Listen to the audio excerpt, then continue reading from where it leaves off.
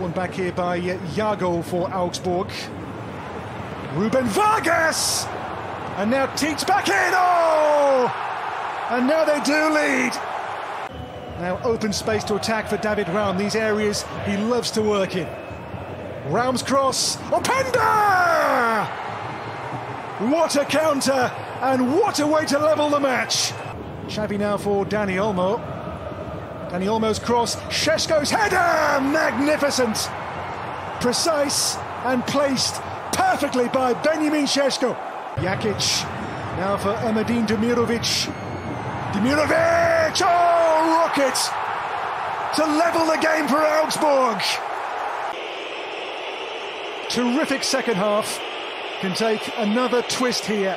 Loïs Openda for Leipzig. Poor penalty. And Dahmen saves the kick he gave away.